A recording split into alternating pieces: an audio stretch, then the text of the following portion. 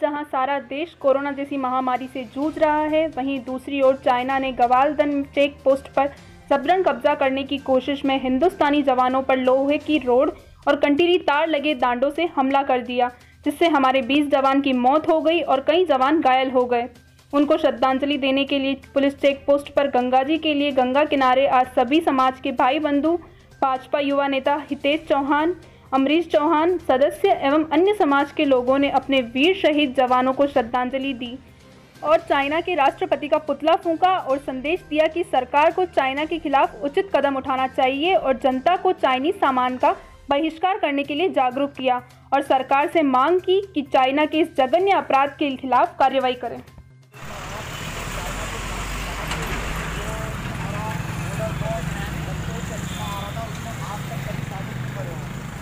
मोटा मोटा करके प्रोग्राम वाला बहुत लंबा करके चला था सबकी सारी लेकिन जो चाइना ने कहा था कि हर भाई चारों साथ जो वहाँ बयान है उसको हाल बना के पुलिस से बंदूकों में पीट लगा कर जो शख्सों को मारा गया है यहाँ तक पचास साल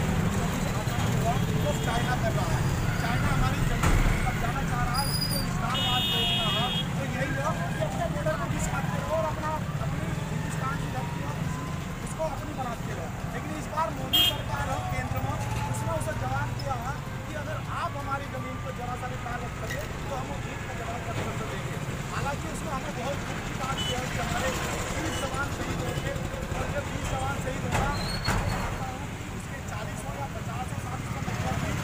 हमारा नुकसान है हमारे एक जवान का भी शहीद होना हमारा बहुत बड़ा नुकसान है और ये नुकसान हमारी भरपाई नहीं हो सकती, लेकिन तब भी हम सरकार से, प्रशासन से ये मांग करेंगे कि चाइना के खिलाफ कड़ी से कड़ी कार्रवाई की जाए और हमारे जो बीस जवान शहीद हुए, उनके परिवार वालों को पूरी सहायता दी जाए और हम पूरे हिंदुस्तान वासी सारे के सारे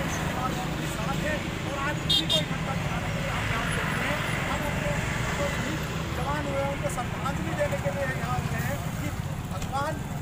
मैया उनकी आत्मा को शांति दे और उनके परिवार वालों को इसकी दुख की घड़ी में हिम्मत दे और हम उनकी साथ खड़े पूरा देश उनकी साथ खड़ा हुआ है। यही चीज़ के लिए मैं आपसे कहना चाहूँगा कि केवल दो मिनट का मौन धारण करना है केवल दो मिनट चाइनीज़ सामान का बहिष्कार करो चाइनीज़ सामान का बहिष्कार करो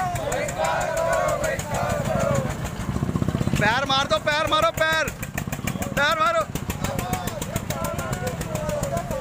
सामान का बहिष्कार करो। चाइनीज़ सामान का बहिष्कार करो। बहिष्कार करो चाइनीज़ सामान का बहिष्कार करो। बहिष्कार करो चाइनीज़ सामान का बहिष्कार